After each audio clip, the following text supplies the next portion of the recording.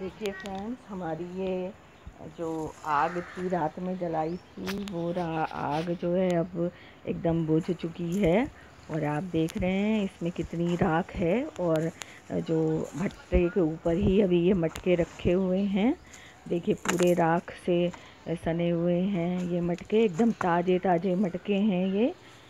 और अभी इनको जो है अब अलग किया जाएगा और उसके बाद इनकी राख को झाड़ के रखा जाएगा इनको। तो देखिए, एकदम ताज़े मटके हैं। इनमें कोई भी कलर नहीं किया हुआ है अभी।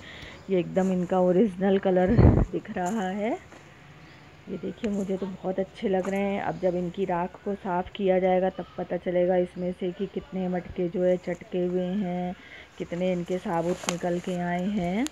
ये देखिए, एक मटका मैं उठा रही हूँ आपको दिखाने के लिए। ये देखिए। ये मटका है। ये देखिए, ये मटका देखिए, ये पूरा पका हुआ मटका है। ओरिजिनल कलर है। इसमें कोई कलर नहीं किया गया है। जहाँ ज़्यादा पका है, वहाँ ज़्यादा रेड है। जहाँ कम पका है, वहाँ कम रेड है पीछे से। या राख अभी लगी हुई है उसमें, इसलिए लग रहा है।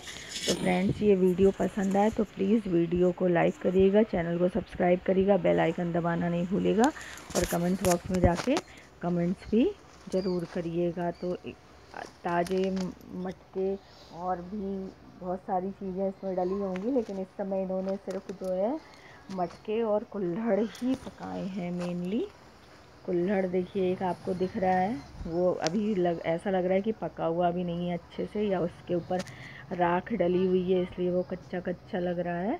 तो इस समय इन्होंने कुल्हड़, अरे सॉरी, मटके और गुल्लक दो चीज़ें पकाई हैं। गुल्लक भी बहुत बड़े बड़े बनते हैं और ये देखिए अब ये जो मटका साफ़ करके रखा गया जो मटका अभी मैंने आपको दिखाया था, वही मटका कुल्हड़ दिए, ये सब इनकी राख को झाड़ करके और साफ़ करके रखे गए हैं। देखिए ये दिए भी आपको स्मोकी स्मोकी से दिख रहे हैं, इनमें कोई कलर नहीं है। तो ओके बाय फ्रेंड्स मिलते हैं फिर।